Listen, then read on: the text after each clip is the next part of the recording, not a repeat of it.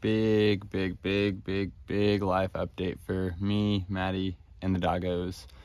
Um, for the past little over a year, we have been living in this camper, but yesterday, we just purchased our first freaking home, which is crazy to think about.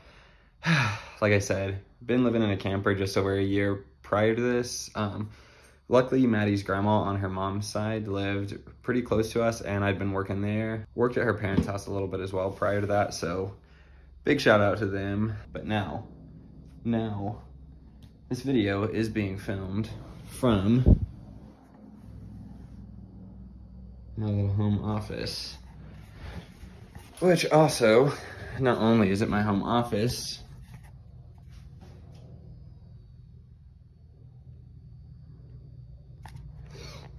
we are making it a little library reading room type area.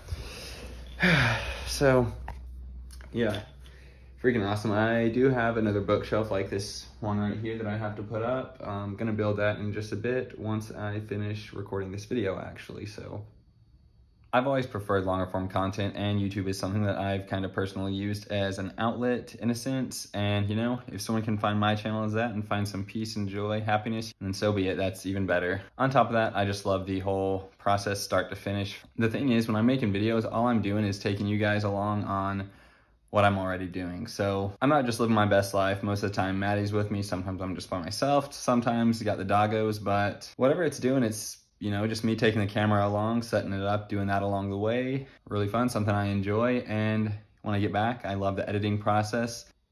With that being said, this house is something that Maddie and I are hoping to live in for the next, you know, three to five years. Use it as an investment property, whether we want to do some work and either flip it or rent it it's too good of a deal to pass up. We didn't really plan on buying anything right now, just kind of started going to some open houses, then was talking to a realtor, got pre-approved for a loan, and then, um, yeah, this is uh, an area that we couldn't really pass up, and there's a lot of things about the house that we love. Not only does it have a great home office and library area, but one of my favorite things about the house is that it has a fenced-in backyard for the doggos got myself a little crash pad couch made, so uh, yeah. crash pad couch is what we're going with until Maddie and I get some outdoor furniture. But I am not gonna complain because make these plenty enough when outdoors, camping, climbing, doing all that stuff. So we are big chilling. The doggos are living their best life. They love having this fenced-in backyard. Maddie and I are living our best life. We love having a house. It's got a garage and everything, so yeah.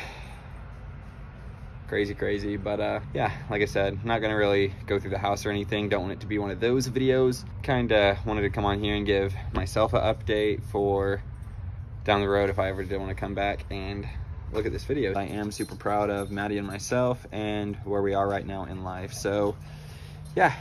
Anyways hope you enjoyed the video. If you did watch this thank you for watching. Have a great rest of the day. Until next time peace